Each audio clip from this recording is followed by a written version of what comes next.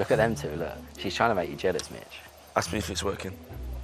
I think it is. It's really not. Does it bother you? No, no.